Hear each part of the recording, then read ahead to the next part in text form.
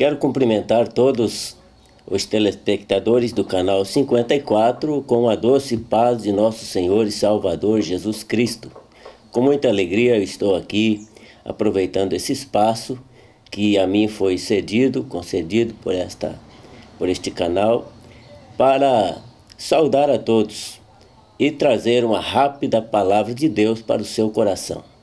Eu sou o pastor Ronaldo Medeiros, co-pastor Trabalho ao lado do meu pastor, presidente, pastor José Anunciação dos Santos, presidente do campo ministerial aqui em Campo Mourão. E nós estamos aqui, pela graça de Deus, trabalhando em prol do crescimento do reino de Deus, fazendo tudo aquilo que podemos fazer para Deus.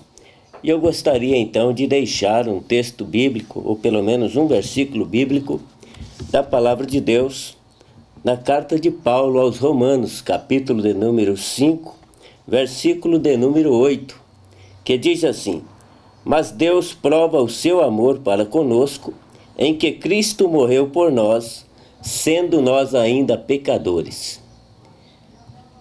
O apóstolo Paulo, ele descreve aqui uma coisa muito importante sobre o amor de Deus.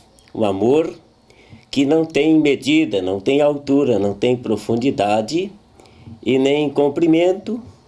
E esse amor é um amor incomparável, amor belo, amor santo, com que o Senhor nos amou, sendo nós ainda pecadores, ele enviou seu filho, seu único filho, para morrer por nós na cruz do Calvário, para dar a sua vida por mim e por você também, meu querido, aonde você está ouvindo esta mensagem.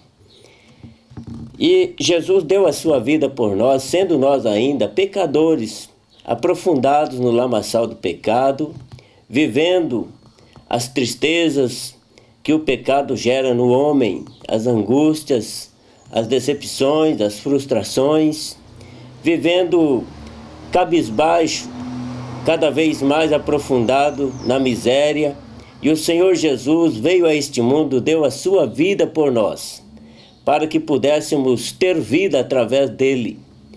E ele, lá no Evangelho, segundo escreveu Mateus, capítulo de número 11, ele disse: Vinde a mim todos vós que estáis cansados e oprimidos, e eu vos aliviarei.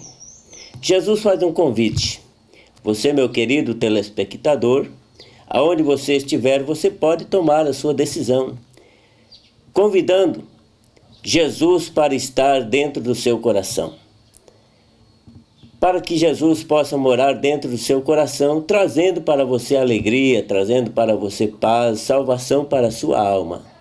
O desejo do meu coração é que o Senhor abençoe o seu lar, a sua casa, a sua vida, o seu trabalho e a sua família possa ser abençoada por Deus. Ficamos com estas palavras e eu agradeço o espaço, a oportunidade que a TV, o canal 54, está nos oferecendo. Em nome de Jesus. Meu muito obrigado a todos. Que Deus abençoe poderosamente.